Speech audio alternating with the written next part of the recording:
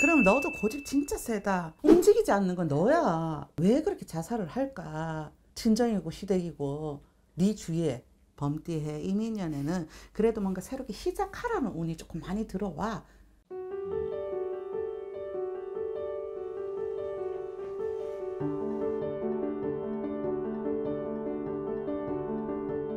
사는 이렇게 고달프노? 어?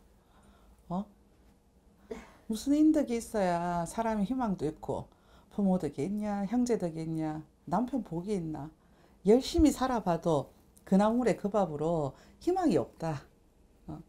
맨날 우울하고 어.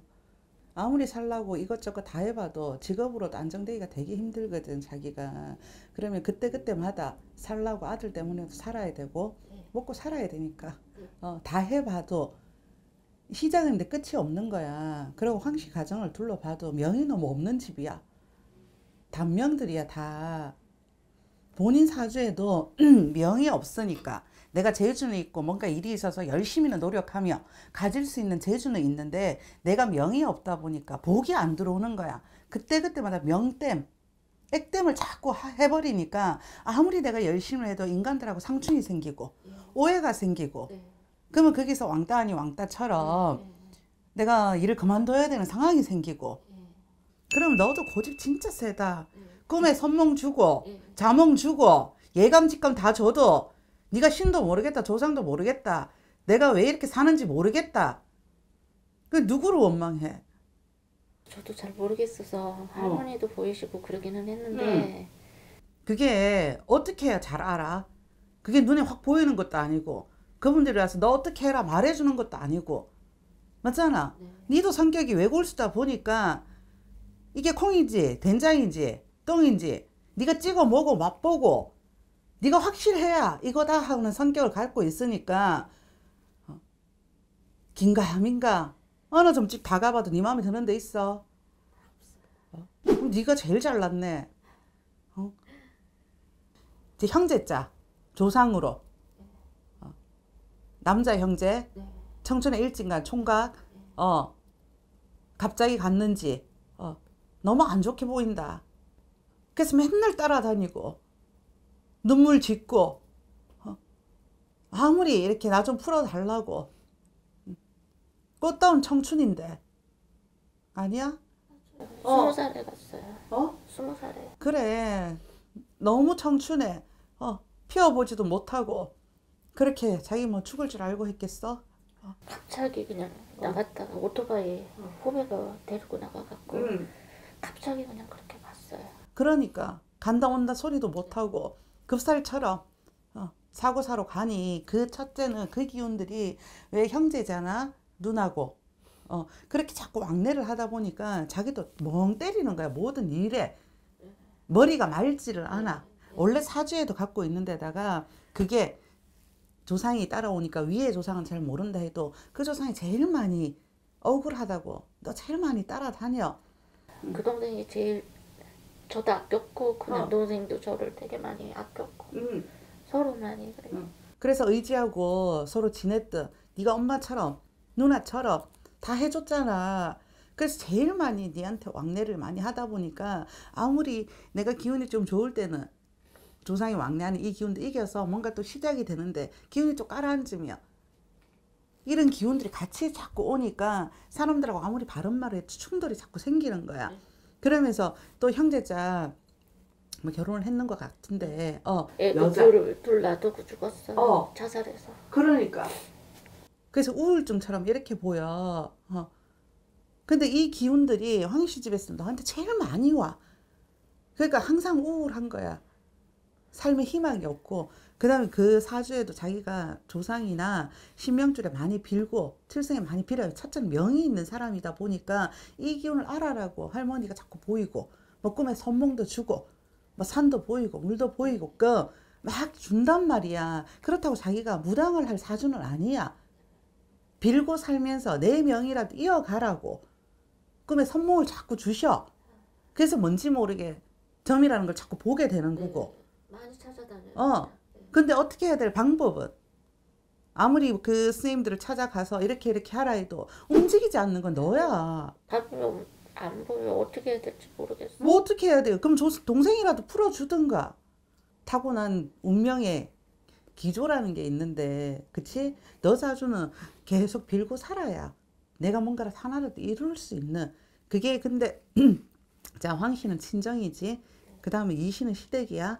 이씨 가정은 조상만 풀어가 되는 게 아니고, 여기는 개고기를 먹었던 벌- 벌전이 너무 많이 들어와. 그렇다 보니까 이씨 가정이 산소 이장을 한 것도 보여. 어, 산소에 손댄 거. 산바람이 불다 보니까 이제 우리 아들한테는 뭐 이제 할아버지, 그러니까 자기는 시아버지, 네. 그 다음에 시 할아, 할아버지, 시 할아버지 자기한테 이때부터는 다 내려와 앉았다고 해도 과언이 아니야. 재물도 깨지고, 어, 그 형제간의 윤기지, 집안에 이것도 다 깨진 격이고. 그러면 자기 신랑도 부모한테 받을 게 없고, 줄 게 없고, 열심히 노력해서 살아라는 사주에 그건 갖고 있으나 노력을 해도 앞이 다 막혀 있는 거야. 그러니까 한 번씩 내 정신을 확 넘주는 거야. 술을 한 잔 먹어도 내 정신 주고, 어 눈이 확 돈단 말이야. 그때는 살기가 막 느껴져. 네가 두려울 정도로. 음.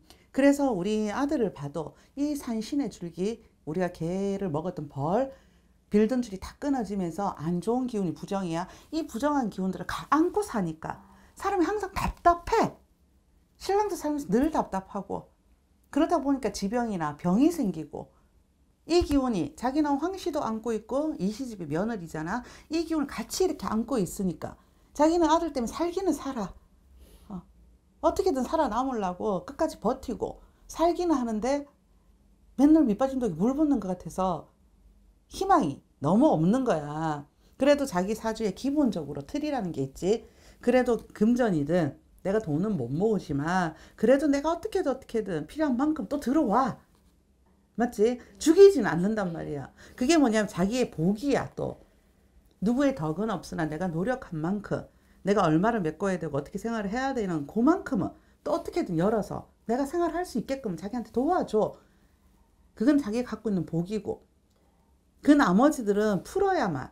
그게 조상도 있고 빌었던 칠성도 있고 신명줄도 있고 이런 여러 가지 벌도 있잖아. 이런 벌들을 닦아서 조상은 조상대로 명을 이어주는 신은 신대로 해서 우리 집안에 명을 이어주세요 하고 빌어야 되는데 이게 전혀 가리라지 보이지 않는 거에 가리도 안 되니까 자기 인생도 뭔가 이렇게 곱게 살아가기가 너무 답답한 거야 그래서 점을 봐도 답답하고 나름 최선을 다해서 그렇게 빌어본다 해도 소용없는 일 같고 아저씨를 봐도 병으로 갔어? 자살했어. 자살했지. 어. 그러니까 여기는 왜 그렇게 자살을 할까? 어? 친정이고 시댁이고 네 주위에 그러면 그만큼 위 때부터 아까 그랬지 시댁의 시할아버지 때부터 이 줄이 빌었던 줄이 다 막히면서 개종 바람이 들면서 계곡이 부정 불도가 옛날에 센 집인데 이걸 다 무시하고 각자 살다 보니까 그리고 산소를 너는 잘못 건드렸어 윗대 그리고 황 씨나 이 씨나 뭐 여동생도 그렇고 뭐 신랑도 그렇고 자살이지만 윗대도 자살이 보여. 우리가 병도 유전이다 이런 걸 많이 보잖아. 그러면 이런 조상의 내력도 윗대가 없는데 갑자기 자살이 나거나 그렇진 않아. 그래서 이런 기운들이 영산이 너무 많이 영산이라는 거는 죽어서 좋은데 막 못 가고 험하게 돌아가시고 그 영산고에 너무 많이 묶여 있는 거야. 그 족쇄가 다 차여 있으니까 도와주고 싶어도 못 도와주고 왕래를 해도 자기만 오니까 이 영산들이 같이 들어오니까 더 힘들게 해. 그래서 일신으로 자꾸 고변을 주고 금전은 당연히 딱 먹고 살 만큼 필요한 만큼만 딱 주지 더 이상은 예. 주지도 않고 돈이 좀 될 만한 몸이 아프든 음, 범띠해 이민년에는 그래도 뭔가 새롭게 시작하라는 운이 조금 많이 들어와. 어, 자꾸 일어서면 눕히었던 기운이 많았다면 이제는 조금 뒤에서 밀어주는 힘 내가 좀 하고 싶고 뭐라도 이렇게 시작을 하면 조금 나아지는 운도 들어오니까 포기하지 말고 네. 음. 그리고 아무리 어려워도 아들 때문이라도 이 시집을 안 풀어줄 수는 없어 네. 그래서 그런 거는 한 번쯤 다시 풀어서라도 인연이 되면 음, 그 쌤하고도 인연을 쭉 지으면서 하나씩 하나씩 한꺼번에 못하니까 하나씩 하나씩 해결하고 살아야겠다 마음을 먹는 게 삶이 더 나아질 것 같아.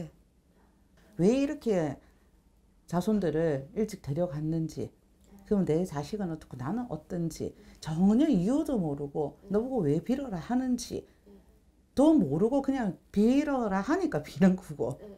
빌면 좋다니까 비는 거고 그런 시기였던 것 같아.